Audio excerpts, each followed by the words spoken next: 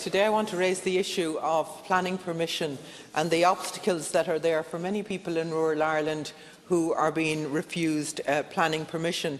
And I do want to commend my own colleague Martin Kenny for the piece of legislation, the amendment that he's putting into the Local Government Water Pollution Act 1977, uh, which will permit local authorities to grant a wastewater discharge licence to applicants wanting to build one-off rural houses where the percolation test has failed.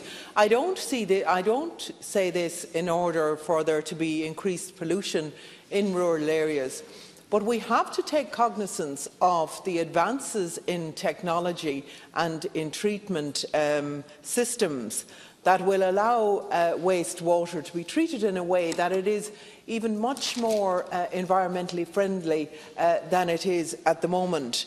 Um, and this piece of legislation would move away from the zero discharge, which has prevented many families from building houses in rural areas. I know many families in Mayo who, and I know in other parts of the country as well, who are forced to pay huge high rents in different areas. And I know one family in particular who has to have between them five jobs in order to pay the high rent, and yet they're being refused planning permission to build a small, modest house uh, on their own land.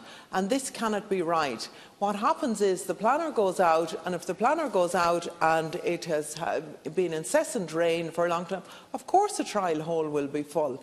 So you have to take it as in, in, the wider context of there being solutions there and percolation solutions solutions there in order to address those problems. God knows we have enough depopulation in rural Ireland and we have enough families struggling to make a living that we have to address this. And that is why I would really urge all parties to support this legislation to allow it to go through, to allow it to go to, through to the Joint Oireachtas Committee on Housing Planning and Local Government, where it would be further scrutinised. But time is of the essence, because depopulation in rural Ireland is a very serious problem. We want all of the families that can remain in rural Ireland to stay there. We want our schools to be vibrant. We want vibrant communities. But people cannot do that unless we facilitate them to get planning permission. And the planning permission is often on their own land. So it, it's actually, Leader of the House, I would ask you that perhaps you would ask the Minister to come into this House to discuss planning permissions